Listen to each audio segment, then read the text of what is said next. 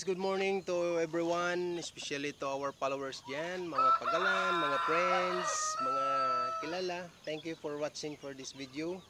Ah, guys, this morning ating pag-uusapan ngayon ang pagpurga ng ating mga alagang manok. Kasi isa yan sa mga dahilan ng ating mga manok ay hindi ma mabilis tumubo or lumaki kasi merong mga bulati. No? So ngayon guys, ang ating gagawin ngayon ang pagpurga gamit ang organic. So, hindi tayo magagamit ng mga commercial na pangpurga guys. But ang ating gamitin ngayon is ito, bunga or niyog-niyogan. So, kung nakakilala kayo nito, ito yan guys, oh, tingnan nyo. Ayan. See? So, gawin natin ito guys, kunin natin ang pinakalaman at saka ipakain natin sa manok. Okay? So, kung mga sisiw guys, ah, 1/8 piraso lang. Kapag hindi masyadong matanda yung niyog-niyogan natin.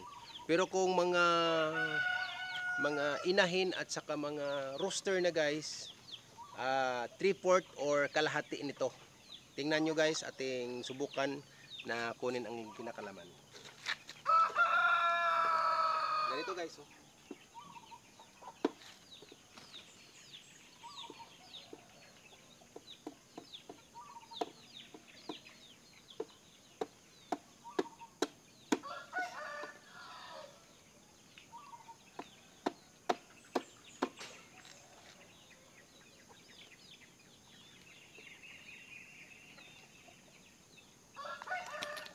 So ito na guys, yung laman ng niyog-niyugan.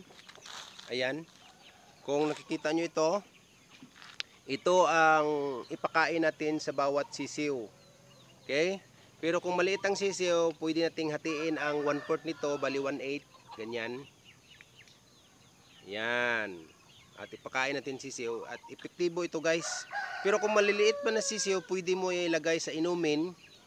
Okay, sa inumin at saka ipainom mo sa mga sisiw mo. Kung mga malalaki na sila guys, kalahati or 3/4 depende sa kalaki ng manok. Yan guys is ah, subok na nakin ito kasi matagal ko na itong ginagawa. Okay? Yan guys is makaya bawas tayo sa gastos natin kasi sa ngayon mahal na ang mga ah, commercial na gamot. Okay? So salamat guys sa pag panonood nitong video. Kung meron kayong mga katanungan, ah, isulat nyo lang dyan sa ating comment section. Salamat sa pagsubaybay.